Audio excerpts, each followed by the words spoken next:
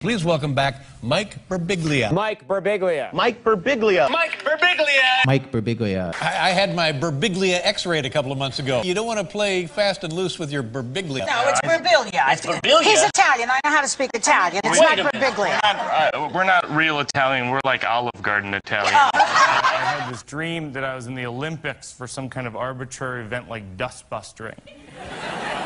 And they told me I got third place, and I stood up on the third place podium, and I'm feeling good about myself. I'm new to the sport. Uh, and they say, actually, you got second place. And I move over to the second place podium, and it starts wobbling and it's wobbling and wobbling, and I wake up and I'm falling off the top of our five foot bookcase in our living room. And I land on the floor hard on top of our TiVo. And it, I know. And it, and it breaks into pieces. It was like one of these stories you hear where people black out drinking, they wake up in Idaho, they don't know where they are, they're just like, oh no! Hardee's, you know, or whatever's there. But it, it was in my own living room. I was just like, ah, TiVo pieces.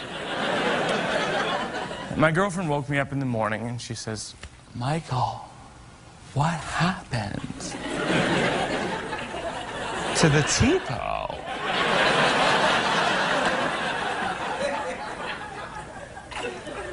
I got second place.